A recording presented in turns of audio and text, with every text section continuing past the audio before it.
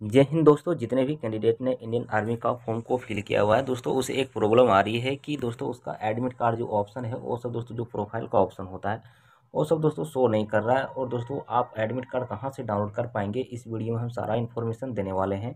क्योंकि दोस्तों आपको पता ही होगा कि पहले से ही दोस्तों फॉर्म फिलअप जब स्टार्ट हुई थी इंडियन आर्मी की, उसी टाइम दोस्तों आपको जितने भी जोन है, जितने भी जोन की दोस्तों आर्मी भर्ती थी, सारा कुछ मेंशन कर दिया था कि इसकी ऑनलाइन एग्ज़ाम जो है कितने तारीख को कंडक्ट करवाया जाएगा।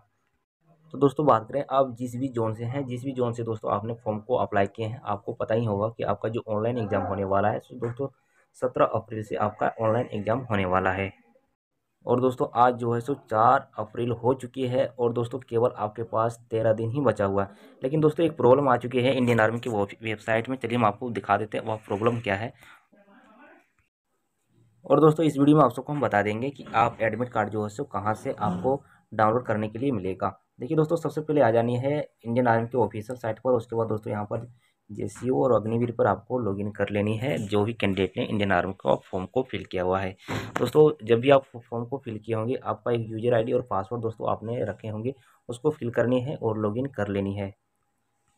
देखिए दोस्तों, फ़िलहाल हम अभी हम लॉगिन हो चुके हैं लेकिन लेकिन दोस्तों इसमें एक प्रॉब्लम आ चुकी है जो कि आपको हम बता देना चाहते हैं। दोस्तों, पहले जो हमने वीडियो अपलोड किए थे, उसमें पूरा डिटेल से दोस्तों हमने बात नहीं कर पाए थे, लेकिन इसमें हम पूरा डिटेल से बात करने वाले हैं।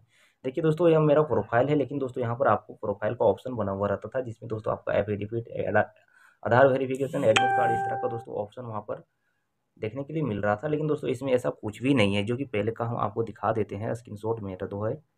देखिए दोस्तों, यहाँ पर आप देख पा रहे होंगे यहाँ पर डैशबोर्ड आने की सारा कुछ यहाँ देख देख सकते हैं कि प्रोफ़ाइल अप्लाई हिस्ट्री दोस्तों चेंज पासवर्ड एडमिट कार्ड इस तरह का सारा ऑप्शन दोस्तों, पहले की जो इंडियन आर्मी की साइट थी तो इसमें सारा कुछ मेंशन था, लेकिन इसमें दोस्तों ऐसा कुछ भी नहीं है।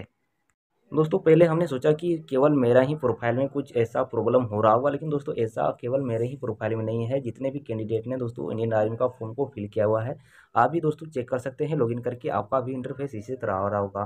तो दोस्तों, बात करें तो आप अपना एडमिट कार्ड कहाँ से डाउनलोड कर पाएँगे? क्योंकि दोस्तों, यहाँ पर कोई भी ऐसा ऑप्शन नहीं है एडमिट कार्ड रिलेटेड तो दोस्तों, बात करें, जब भी आप इंडियन आर्मी का फॉर्म को फिल किए होंगे, दोस्तों, उसमें आप अपना जीमेल आईडी का भी दोस्तों, वहाँ पर यूज़ किए होंगे, यानी कि फिल किए होंगे।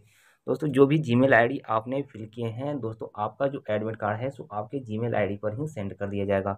क्योंकि दोस्तों इंडियन आर्मी की ऑफिशियल साइट पर, दोस्तों, सारा कुछ अपडेट हो चुका है। जैसा कि दोस्तों, अभी दोस्तों, फ़िलहाल जो सीआरपीएफ की एग्ज़ाम हुई थी, जो, जी हाँ दोस्तों, जो सीआरपीएफ की एग्ज़ाम हुई थी, उसमें दोस्तों, इसकी ऑफिशियल साइट पर, दोस्तों एडमिट कार्ड भेजा नहीं गया था। केवल दोस्तों एडमिट दोस्तों, जी, आपकी जीमेल आईडी पर ही आपका एडमिट कार्ड सेंड कर दिया गया था।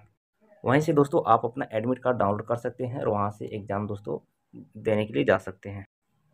इसी तरह की दोस्तों सेम प्रोसेस इंडियन आर्मी में भी होने वाली है। जो भी दोस्तों आपने जो जो जी मेल को फिल किए होंगे, उसी जी मेल में दोस्तों आपका एडमिट कार्ड सेंड कर दिया जाएगा।